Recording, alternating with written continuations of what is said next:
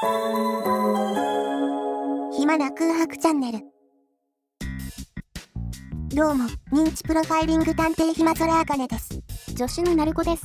えー、公文書非開示決定取り消し訴訟、つまり正式名称は、ゆりこのり剥がせ、こら、おい、何が都民ファーストじゃい、のりをやめます、公約消してなかったことにしてんじゃねえよ、おいゆりこ。訴訟についてですね。そんな正式名称だったんですかこれは、2つ、令和3年度と4年度の DV 補助金についての訴訟があったんだけど、裁判所の進行的に、2つはまとめて行われてるので、こちらでもまとめます。今回は、都庁が出してきた反論、と言っても、コラボ弁護団が反論を書いてきて、それを代弁してるだけの気もするけど、に、こちらが反論するターンだね。えーと、前回どんな反論でしたっけ？コラボ弁護士の時給がわかると、その情報をもとにシェルターが判明してしまう。みたいな、念能力者の可能性を危惧した反論でしたっけ？そうだね、大体そんな感じ。この情報からシェルターを調べることができる。どう考えても無理。みたいなのばっかりだから、反論も、大体が、そんなことは考えられない、不可能である、よって反論になっていない。みたいなものだよ。まあ無理ですよねどうやって弁護士の時給からシェルターの位置を突き止めるのか全く想像すらできません。それに、そもそもシェルターってほとんど閉鎖したんじゃなかったっけ？知らないけど。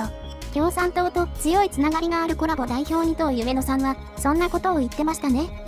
山本一郎のせいで閉鎖したとか。そうだね、山本一郎のせいだね。なんかこっちになすりつけようとしてきますよね。シェルター晒した山本一郎をなのに、シェルターさらした山本一郎を訴えないのが、本当に不思議だよ。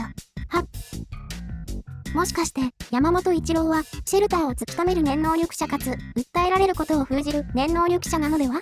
そ、その可能性は否定できない。ってそんなわけあるかい？書面についての評価で言うと、都庁相手の裁判書面として、とても興味深いものではありますが、内容としては、そんなわけあるかーい、みたいなのの繰り返しになってますね。こんな無理筋の主張に逐一反論しなきゃいけないって、裁判って大変ですね。これというのも、ゆり子が、ノリやめますとかいう公約を消してまで、公文書にノリを貼りまくるせいだよ。ゆり子？書面はノートで有料販売しています。リンクは概要欄にあるのでよろしくお願いします。YouTube とノートの売り上げは探偵と助手で折半しています。個別の投げ銭は探偵はノートのサポート、助手は固定ツイートまでお願いします。それではまた次回お会いしましょう。